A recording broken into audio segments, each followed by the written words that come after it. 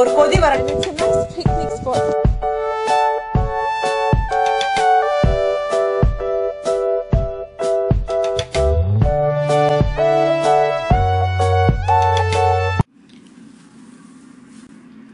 இன்னைக்கு என்னோடய என்னோட பொண்ணு வீட்டில் இருந்து டாக்டர் வீட்டில் இருந்து கொஞ்சம் கருவேப்பிலை எடுத்துகிட்டு வான்னு சொன்னேன்.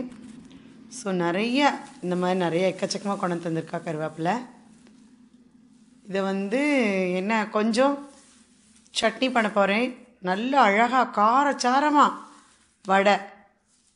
ஒரு வடை பண்ணி குழந்தைகளுக்கும் கொடுத்து பேர குழந்தைங்களுக்கும் கொடுத்து சாப்பிட்லான்னு நினைக்கிறேன் நான். இன்றைக்கி அதுதான் பண்ண போகிறேன் நான்.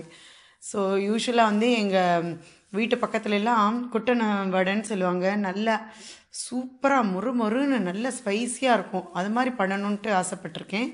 ஸோ இது பண்ணி சாப்பிட்டுட்டு வருவேன். ஸோ கொஞ்சம் ரசமும் பண்ணுவேன்.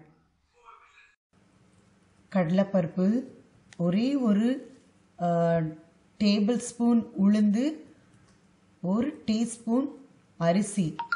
அதை நல்லா ஒரு ரெண்டு மணி நேரம் ஊற வச்சு நிறைய கருவேப்பிலை அப்புறம் பட்டை சோம்பு கிராம்பு புதினா பச்சை மிளகா வெங்காயம் எல்லாம் போட்டு நல்லா அரைச்சு அழகாக நல்ல ஒரு முறை சுவையான வடையை வந்து வடை பண்ணி சாப்பிட்டோம். ரொம்ப டேஸ்டாக இருந்தது. எக்ஸலண்ட்டு அந்த கருவேப்பிலை மணமும் புதினாவும் நறுமணத்தோட இந்த பட்டை சோம்பு கிராம்போட சேர்ந்து ஒரு புதுசாக ரொம்ப ஜோரா. ஊரில் வந்து குட்டெண்ணெய் வடைன்னு சொல்லுவாங்க. கீரையெல்லாம் போட்டு நிறைய மசாலாலாம் போட்டு நல்லா சூப்பராக பண்ணுற அந்த டேஸ்ட்டோட வரு வந்தது. எக்ஸலண்ட்டாக இருக்குது இது வந்து நம்ம வந்து ரசம் பண்ணி அழகாக ரெண்டு வடை சாப்பிட முடியும். இல்லை ஈவினிங் டிஃபனில் வந்து அழகாக நாலு வடையோடு சேர்ந்து டீ அல்லது காஃபி குடிக்க முடியும்.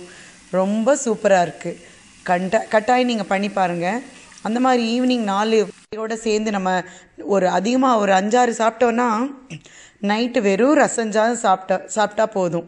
ஏன்னா அந்த அளவுக்கு நம்ம ஃபில்லிங்காக இருக்கும்.